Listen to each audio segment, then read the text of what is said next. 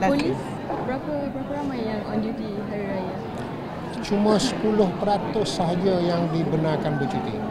Manakala untuk trafik tidak dibenarkan bercuti langsung.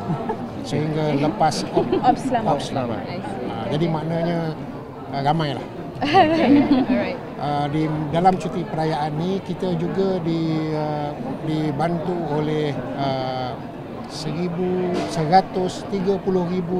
ahli-ahli community policing uh, dalam ronda rumah-rumah yang ditinggalkan uh, dan juga apa nama menjadi mata dan telinga pada pihak polis. Terima kasih banyak kepada ahli-ahli uh, community policing.